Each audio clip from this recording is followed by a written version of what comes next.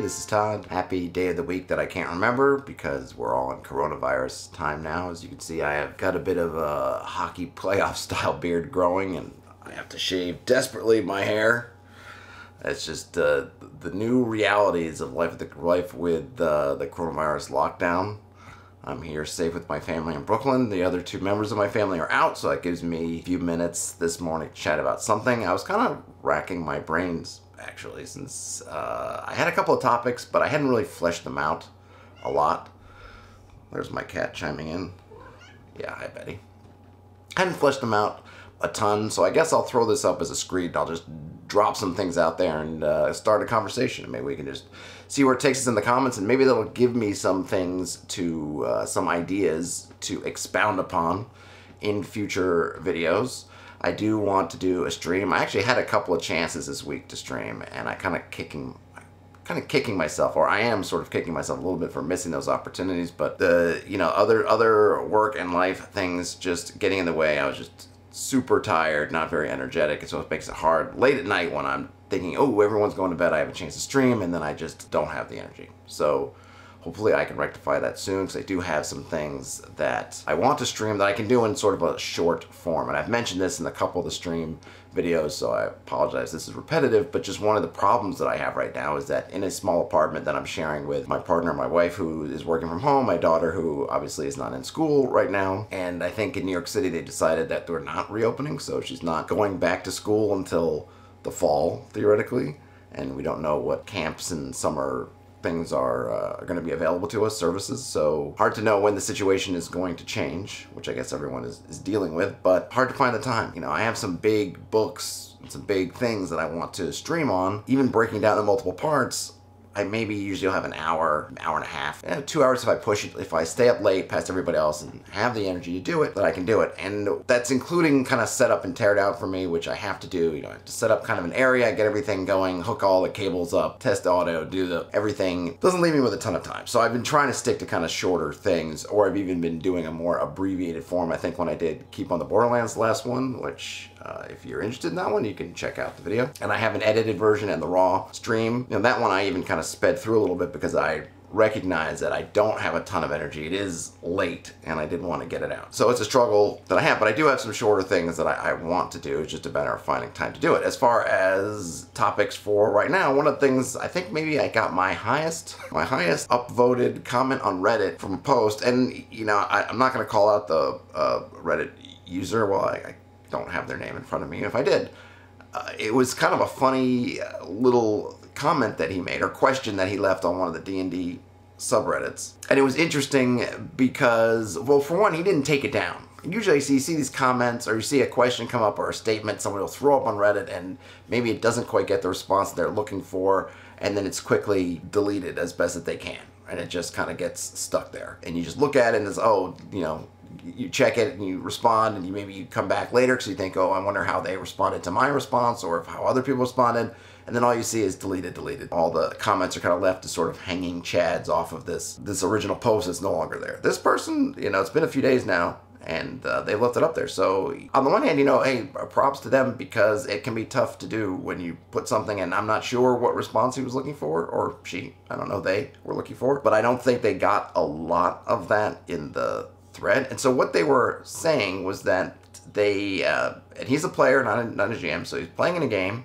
The players ran across an NPC, and the GM, and again, we don't have a lot of context for this or how it worked or what, any, any broader context in terms of what the situation was than the very just abbreviated thing in his post title and post, which was the DM basically played off an NPC like they were not pre-generated. I guess so they were random or I think the term, I think ex the exact terms I want to get, the exact thing that he said was they, they acted, they acted, and again, this comes to kind of the end of the story, they acted like this NPC was something that they had just whipped up. So maybe they were reaching for a name and they're, you know, oh, you meet a farmer. Oh, he's uh, Farmer Dave. Call him Farmer Dave. Okay, you meet Farmer Dave. All right. So I guess the players took this, and instead of looking at the situation kind of in the fiction, on a meta level, they thought to themselves, oh, this this is nobody.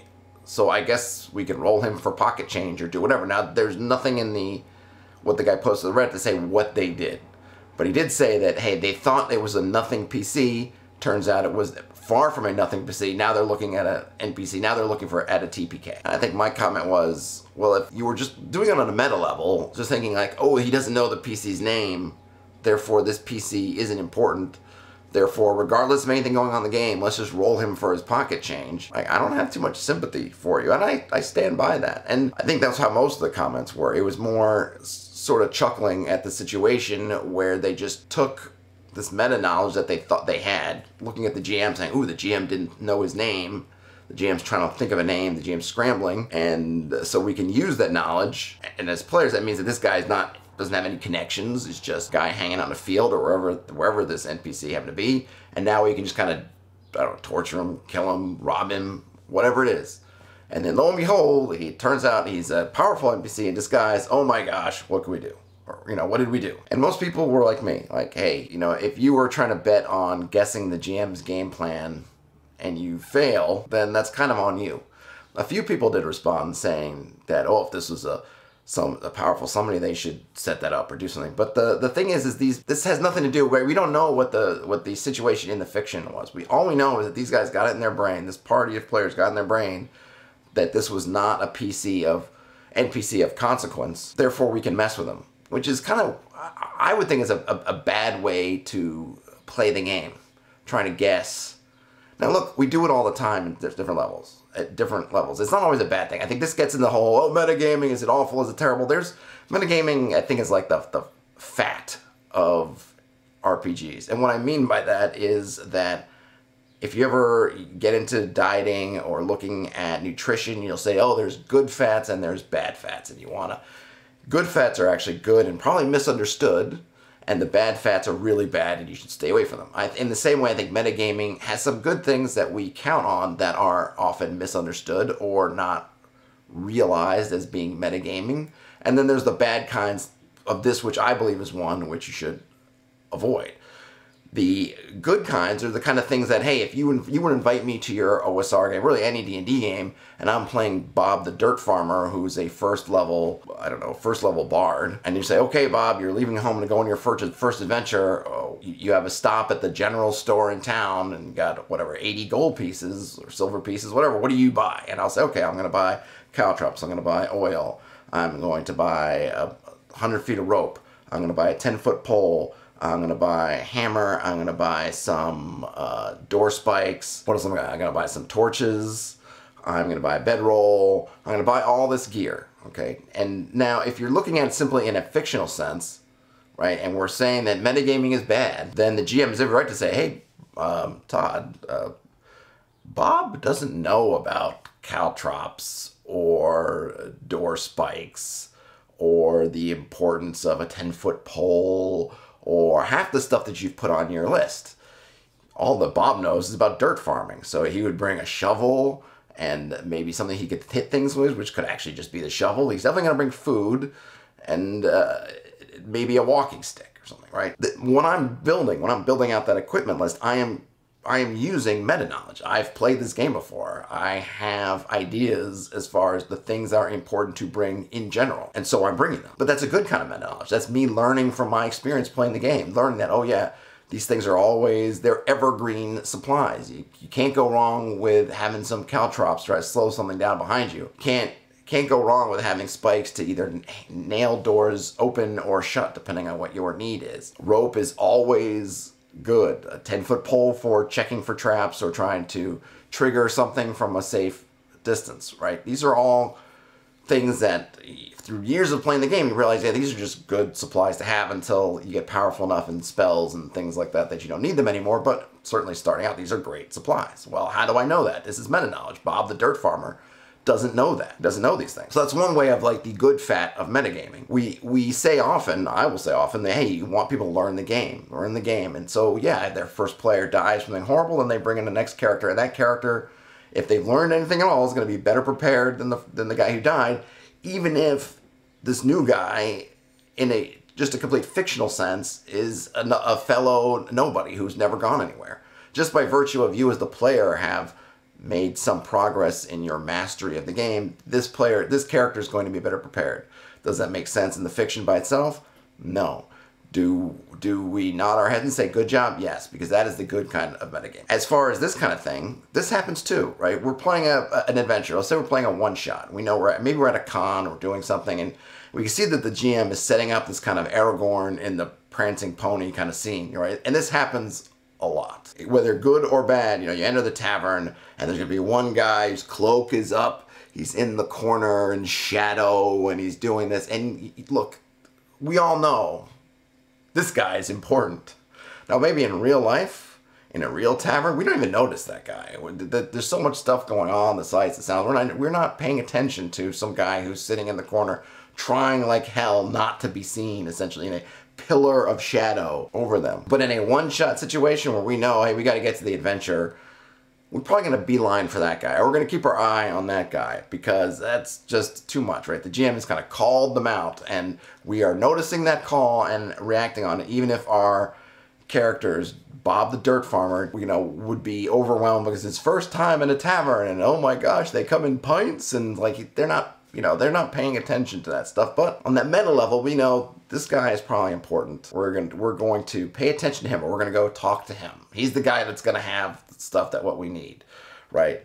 All these things that we learn, all these different tropes that we kind of we can learn from. The funny thing here is this situation this guy got into was kind of like an anti-trope or they missed a trope because there's a lot of background in narrative fiction with gods, powerful beings, other things, uh, putting on the clothes of meek creatures to either just to mess with people or to try to test someone's goodness or badness of character. I think in Beauty and the Beast, right, is I think the, the, the, the prince who is turned into a beast has done so because he wronged some poor woman who was actually a, a, a witch or a powerful sorceress, right, disguised. Zeus, you know, in Greek legends would come around, uh, you know, disguise himself as cows and all kinds of stuff like that. I think, I want to say it's Oedipus, but I might be wrong. I think there's a scene in Oedipus where Oedipus and, and the king get kind of cross wires, and part of that is because he doesn't recognize the king, or I don't know, I forget, I might be off on that one. But there's putting Oedipus aside, there's untold amounts of times that a powerful being has decided to become under the guise of a, a weak being to kind of get their groove on or test people or whatever. So it's not like from a pure meta gaming standpoint that this character might not be what they appear to be. It really was even that second level where they said, well, it's not so much that he's a meek player, but he doesn't know the name, or I think that was what it was, is that they didn't know the name. They were kind of trying to think up a name on the spot, which was that cue to them to the, aha, this person's not doing it. Now, I don't know if the guy knows, the who, person who posted this knows for sure whether the GM did that on purpose or whether he had, okay, Zeus is hanging around as a dirt farmer, and then just Zeus didn't know the name or he just hadn't thought of a name for the dirt farmer because maybe he thought the players weren't going to really go that direction. I don't know any of the any of the context whether the the GM was really playing possum by pretending to think up a name on the spot or pretend to stumble like they didn't know who this was. And of course, part of it might have been that this GM was just tired of his party was rolling random NPCs. He decided to just, when they decided to roll this particular NPC, he then took them and turned them into something that they weren't before, right? That maybe in the world where they just pass by and say, tip their, doff their caps to Bob the Dirt Farmer, that that's just Bob the Dirt Farmer. But because they decided for no reason other than just sheer chaos to go and decide to kind of roll Bob the Dirt Farmer and steal his two coppers and murder him in front of his wife and children that the GM said, you know what, I've had enough of this. Bob the Dirt Farmer is actually Zeus in disguise. In fact, I've actually often seen the reverse of this kind of scenario come up in which the GMs, and I don't know why GMs seem to be, uh, I, I, see there's a high obsession with introducing a, uh, a big bad guy, big bad evil guy, the, the, the antagonist of the campaign, introduce them to the party at the beginning in some way kind of utilizing the same scenarios. They're just going to be like men hiding in the back or they're going to be their benefactor. Somewhere they put them in constant contact with the party. And the problem with that is is this kind of scenario exactly that when you put any kind of creatures or beings in constant contact with the party either just for from sheer murder hoboism or just chaos or just sometimes players will get an inkling and it's smart and think maybe they get that inkling because when you're dealing with this particular NPC, the, the, the, GM is trying to either trying to hint at them that it's a big bad evil guy, or they're trying they just kind of just by nature they want to sort of show off this character a little bit. They give him a little extra.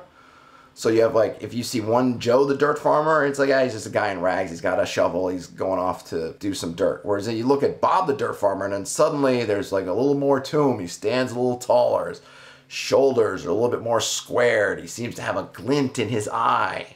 Something that sort of hints that there's a little bit more here. And because I think players are used to that, either used to a this person then turning on them or, or tricking them or doing something or being the evil guy, then you, you know you know what? Why do we got to wait from from for Bob the Dirt Farmer to become the 20th level lich at the end of this thing. We're just going to eliminate that right now. Like, you just get that thing, like, that guy is a little bit too much going on for a dirt farmer. I don't know whether it's intentional, but he's not, so I'm just going to cut the legs out from under him now, and he'll be done. And this totally happens because GMs are unprepared for this. They are sometimes they're trying to do something where the, the big bad evil guy is about the same level as the party, kind of on the way up. But because they put them so close, party gets a just a just you know they just get their uh, they get their fire up a little bit for one reason or another. Then suddenly they're attacking this person before the GM is ready. Or in this case, and you know I've seen this where it's like someone who was the GM in this case is then posting like, "Oh my God, help me! Do I TPK my players because they attack this dirt farmer who's really the big bad evil guy?" It's kind of what do you do? The TPK scenario in any kind of forms is always interesting because it really brings out a lot of what makes different GMs different GMs and their philosophies.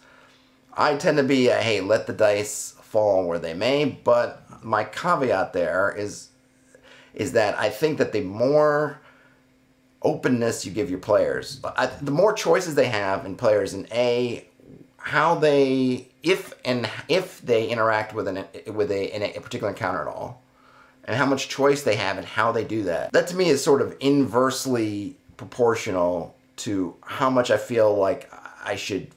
I, I feel like that I shouldn't play it straight. I'm saying this really poorly. What I mean by that is if the players have a lot of choice in whether to encounter, whether to interact with encounter all, right? So they see Bob the farmer, and I have in my notes Bob the farmer is secretly Zeus, and he's there to do something, and this happens.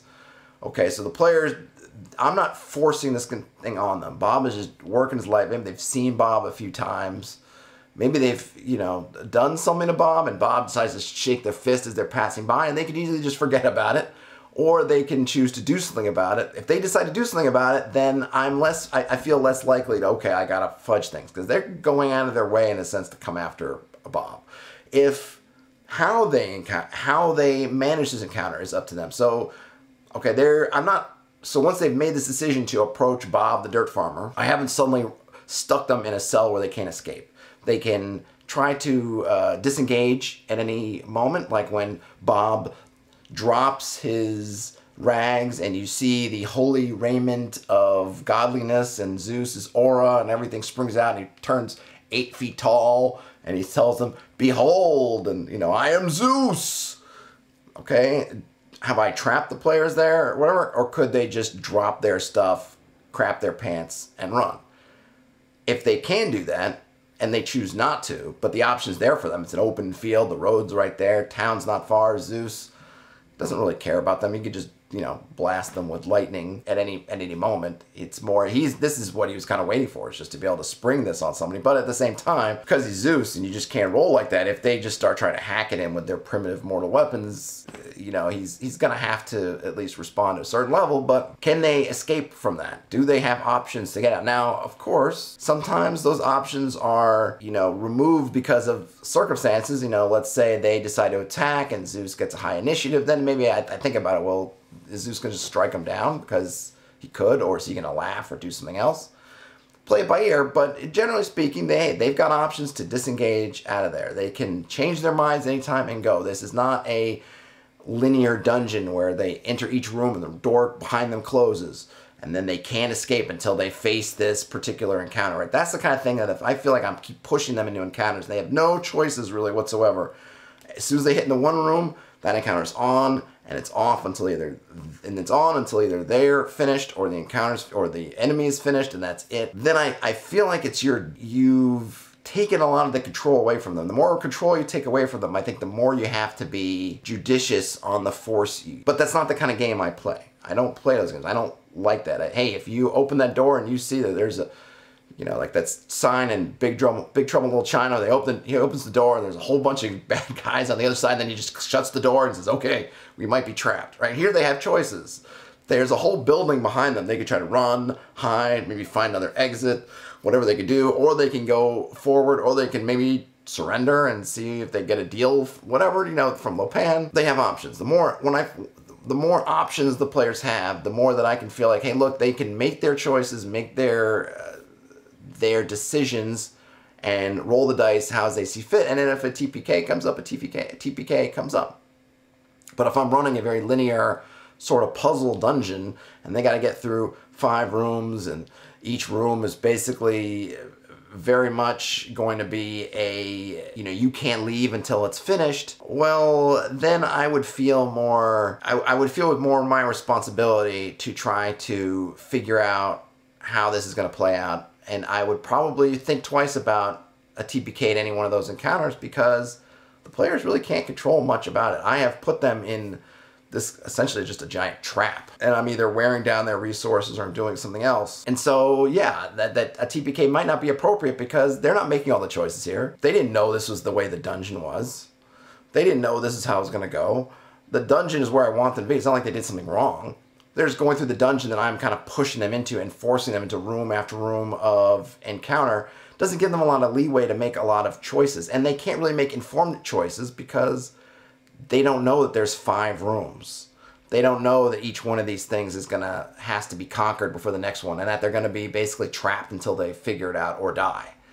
They don't know. So at those points, I would say I don't know if I would feel good giving something that was uh, TPK, or, or if they were starting to get in the realm of a TPK, I might feel a little bit something of it. And I'm somebody who's fine with TPKs, but just I feel like, hey, players should have choices. But then again, I'm also not a fan of those kind of puzzly dungeons, those kind of puzzly spaces where you just you get in and you you have this kind of A B A B choices, and those are connected, right? And balance is also connected. I think I've I'm pretty sure I've done videos on balancing before, or at least I've mentioned it. I'm not a super huge fan of balancing, particularly how 5th edition does it, but a lot of that is because the way I play these games, the way I like them to be played, is that I can make these decisions, right? I can look down and if I play it smart and there's an army of goblins over there, I can see them from a distance. I can kind of scout it out. I can say, hey, there's an army full of goblins down there. I'm not going down there. Let's go the other way. And not set encounter after set encounter after set encounter. Because if all the encounters are set and it's only about kind of the game changes to one of really thinking on the thinking on the go and figuring out kind of your approach, how you could avoid things If you see an army of goblins down there. How much gold do we have? Can we can we bribe our way through? Hey, maybe we can buy them and have our own army of goblins. Maybe we can uh, try to sneak through in the night if, if if the other ways around it are really difficult, or we need to we are you know our objective is in the goblin camp. Maybe they kidnap somebody we're trying to rescue, or maybe we have to hang back and watch them and see see what you know what their guard rotation is. Maybe they're waiting for something, or maybe they're going to try to move this prisoner, and we could try to get them on the road when there's going to be fewer of them. Right? These are all choices I'm making. So this point, if, if that's the players and they're making all these choices, it means the jam. Hey, I don't have to balance the 500 goblins. It's 500 goblins. You figure it out. But I'm not pushing them, and all of a sudden you come around the corner, 500 goblins, roll initiative, right? That's where I, And then it's like, okay, well, we didn't have any choices. We just, it was just, we were going to turn a corner or do whatever and it was going to be there. And that's kind of a game feel, right? Because it's not necessarily that you can't ever turn corners, something to be there. Yeah, random encounters happen. But generally, you have ways to kind of mitigate that, and it comes down to that. If the answer to a situation is, oh, if I'd only done this differently, which I could have done, the situation might turn out really differently, that puts you in one boat. If you're in the like, well, this was just a set thing, it was a set piece, it was going to happen no matter what, that's kind of in another boat. If it's in the it's going to happen no matter what, then I yeah, I, I think balancing is more of a, a feel thing because you're taking taking a lot of the things away from the PC. You were you were you're putting them in a situation, and then it kind of I think it just puts the onus on you to figure out how to make it fair. If the players have had a chance to do all their planning, to figure out how they're going to approach it, to attack it in whatever way they want, or not attack it in they want, then you know to me it's it's on you as players to decide how you're going to do it. And that concept of was it too much or was it not enough? Was it just right? I don't think applies. Uh, and actually, that reminds me of another Reddit post I saw, which kind of had that same question of fairness of an encounter. And I put a poll on Twitter and I asked, hey, what do you, what would you consider a fair encounter? Is it one that is balance to the party? Is it one that is kind of optional? Again, like I've been saying before, this idea that you can you, you can either uh, engage it, not engage it, choose how you're going to engage it. Is the one where you have an exit? You know, you step into the room, it's 50 bugbears, but the door's still open and you can easily get the back out of the room? Or is it something else? And I got, I didn't get a ton of votes, but I, I don't have a huge Twitter following, so I guess that's par for the course there. But it was interesting. I think some people were saying they, they thought that fair was basically to the level of the PCs. I definitely go on fair is how much choice do they have to engage this or not? That's my fairness. But that all stemmed from this Reddit post in which a poster was trying to figure out whether the GM was fair or not with their counters. And they had, so the situation was in the game is their GM, I, I think these I think it was an online. Well, I mean, everything's an online game now. But again, I think a game where the, the players are all online, though I don't know for heart for sure if they weren't, you know, real life friends who were just online or just kind of a random Roll20 type game. And it seemed like these players, there were kind of one set of players maybe didn't get along with the other set so well. I think the the poster mentioned something that they weren't too keen. Anyway, they kind of split off at one point and went on this sort of solo little mission. The three of them went off on this mission that had been po posted wherever in the fictional world as basically suitable for a three-man team. So they took their three-man team and they went and they ended up fighting, ended up in a, a, a kind of a, a room with uh, a, mimic, which they correctly figured out. There was a chest in the middle of a, big, big room that was empty. Mimic in it, fought the mimic, or discovered, oh, that chest's a mimic. I think they shot at it, which exposes the mimic. The mimic ran away down the other side of this big room. But when they stepped in, I think three displacer beasts attack and things unravel there. And he was asking like, was this fair? Because I think he felt like the GM was kind of out to get them. And uh, I tried to drill down with that person a little bit on it because my first thought was again, like I think like, hey, fair, unfair, like how much you could have backed out of there at any time. Were there? and I was trying to get them to think. I was thinking, think about it. What decisions could you have made differently? Because I think a lot of times now, and I think it's very easy with the internet, is to hop on and try to find people who agree with you bad GM. Oh, three displacer beasts, that's beyond deadly. This is a terrible, terrible GM. This is a horrible, horrible thing. And yes, I think via CR, however you want to calculate it, I think, yeah, it comes off as to being basically super deadly. But eh, I think as anyone who's played with CR knows, it's a very imperfect system. Maybe it was meant to be very hard. Certainly it was not a mandatory mission they went, they picked one up. Maybe it was on the fly. Maybe this is out of a book. I don't know. But it wasn't mandatory. They never said they were trapped. They didn't have to do the things they did. They could have run away at any time. Could they have done things differently? And it seemed like they he wasn't sure. But then it turned out, this is where things get fuzzy, as they usually do. When I drilled down a little bit, and it turned out they were new players, number one and that their GM was very unhelpful to them as new players. Didn't help them. They, I think they tried. This person said that they tried to ask questions about stuff. The GM was very, super unhelpful. Um, and then they did the thing that happens a lot, which is kind of it's it's like the TPK. It's like the first. You know, I feel like a TPK kind of goes. You have your chances. You know, if you ever see the game charts, they say there's chances of winning, and then at some point they just rocket up in one direction or another on some key moment, like, oh, it was about 50-50 that they were going to win the game, and then this happened, and it goes off a cliff. One of the players, one of the characters went in, a barbarian, went into a room, ended up getting surrounded by the displacer beasts. Or I think the way they put it was separated by this from the rest of the party from the displacer beasts. And I think the thing that they said to me in one of their responses was, well, what were we going to do? Like, let them, let them die? So we had to go in.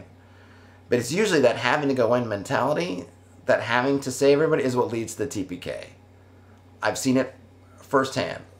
Player A does something, maybe that thing is what you want them to do, you know, as a team, you're like, this is the plan, they do it and just fails, or just something bad happens, or there's something unknown, like you rush the Mimic and three Displacer Beasts show up. Sometimes it's doing something where you don't want them to do, where somebody's just foolhardy as a character or player, and they decide to go, you know, Leeroy Jenkins on a situation, and then you're, you're left holding the bag. When other players just kind of start following them in, and not assessing the situation or not trying to figure out well what should I do that's survivable or you know maybe smarter you know they go and I gotta get I gotta get to the I gotta get to the barbarian who's about to die and feed him a health potion or I can do this and maybe there are other options but they end up going with that I gotta charge into the rescue and then what happens is they go down and then sometimes multiple people then are charging the rescue or sometimes it's just one after another your, your characters are charging in. Oh, well, now we got two guys. Well, maybe I can drag them both out of the room and you charge in.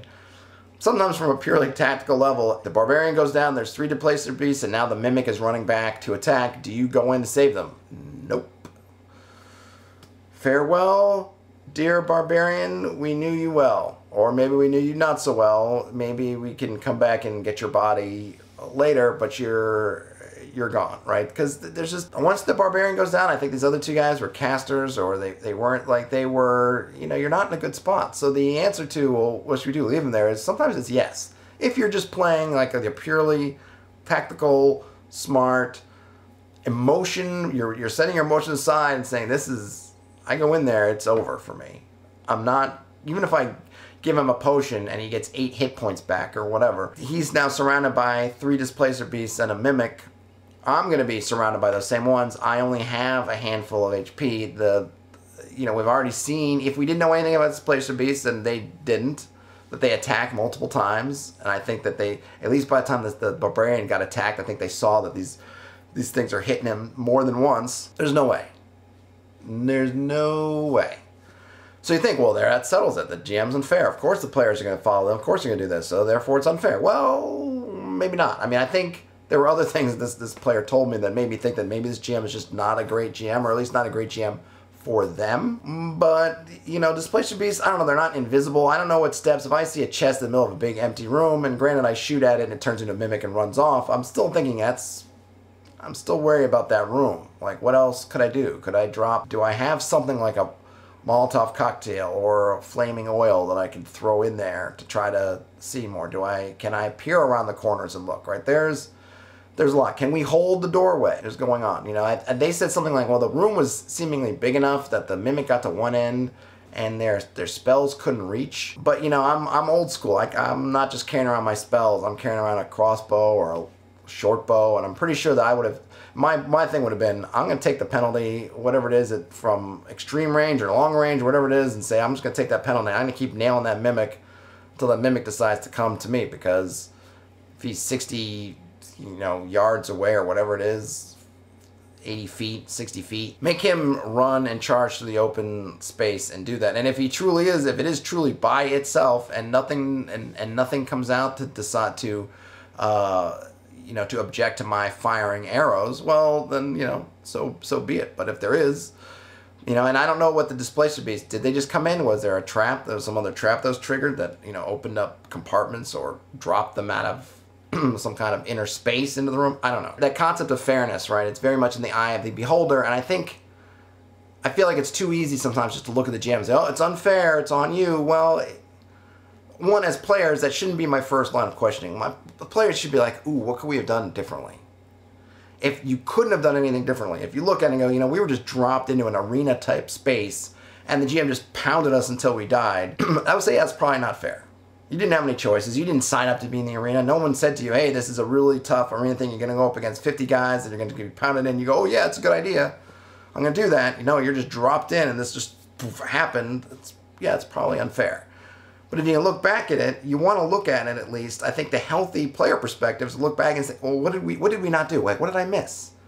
And I think as a GM, particularly with new players, and I think they asked the GM this and he basically refused to tell them. I think they said something like, well, what could we have done differently? If you're at the GM and you're running this encounter, and again, I know that dice and things can have otherwise, because sometimes you can end up, you're using random encounters, you're kind of playing an old school type game. Sometimes stuff can happen. And you could say, hey, man, at a certain point, you guys went in the swamps. I rolled for an encounter. You got a red dragon. I rolled for distance. I rolled for surprise. You guys were surprised. Turned out he was 30 feet away around ducking down in some brackish water and just popped up and did it. Like the part you did wrong was like three steps before this was not re- recognizing that these swamps are dangerous when they had signs posted they were dangerous or just knowing from system knowledge that swamps are dangerous and have things like dragons in them, right? That's one thing. Sometimes that can happen, but mostly you should be able to say as a GM, uh, dice being what they are, you know, I can't say for sure, but uh, the uh, these three uh, displacer beasts were kind of hanging out on the sides. After you open the door, they kind of went to the sides.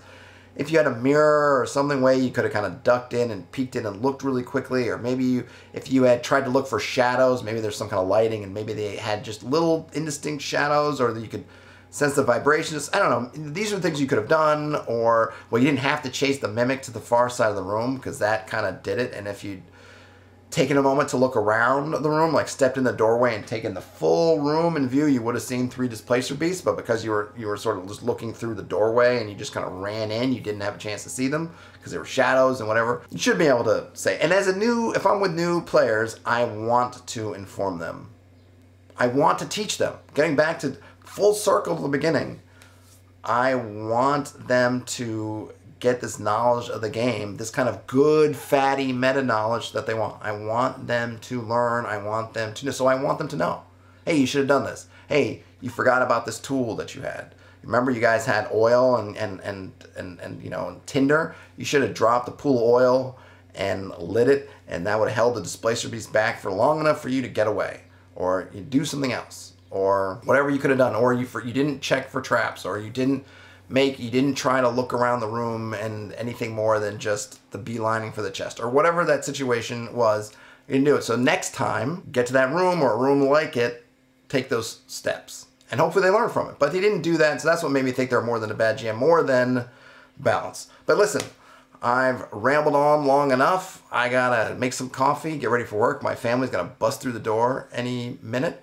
But so let me know if uh, any of these topics floated your boat. Let me know if there's anything you want me to talk about that I haven't talked about in a while or need more. I'm always working on trying to think up more things to do with hexes. I did post a hex um, to my Ko-Fi or my Patreon. I will, if I can remember, I will drop a link in the show notes so you can grab and take a look at it. It's not much. I just made kind of a cool, I thought it was a cool terrain. I kind of dropped the hex over it and added some landmarks that can serve as inspiration. But if you're running kind of a hex crawl campaign, you just need a little bit of interesting wilderness with some ideas for adventuring going on, you can grab that image and check it out. I will drop the link.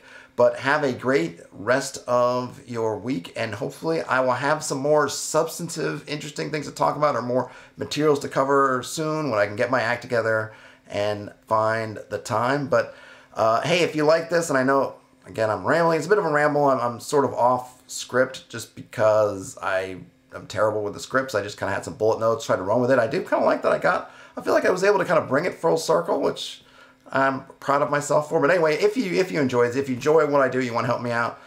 You know, thumbs up the video is great. Subscribing to the channel if you're not already is great. Obviously, I have Ko-Fi and, and Patreon or Ko-fi or Patreon if you'd like to contribute in those ways. But anything you do can help me out help me, uh, you know, just get resources, get things that help me kind of keep keep this train moving, keep the justification for spending time out of my days to do this as opposed to something else.